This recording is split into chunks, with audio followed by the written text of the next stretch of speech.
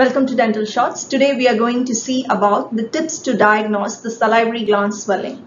So the salivary gland swelling can either be a persistent swelling or a intermittent swelling. So if it is a persistent swelling, we have to see whether it is a localized swelling or a diffuse swelling.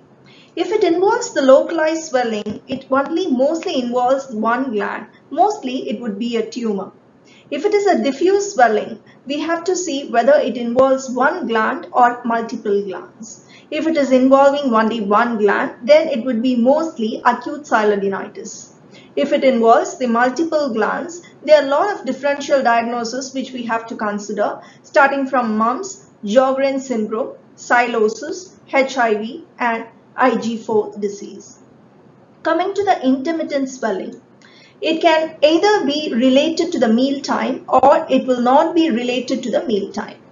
If the swelling comes during the meal time, then it would be mostly a cause of obstructive origin. The salivary gland duct would have been obstructed.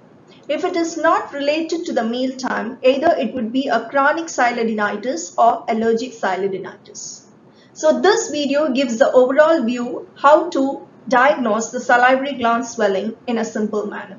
If you like the video, kindly like, share and comment and do subscribe to Dental Shots to know about the upcoming videos. Thank you. Have a great day. God bless you.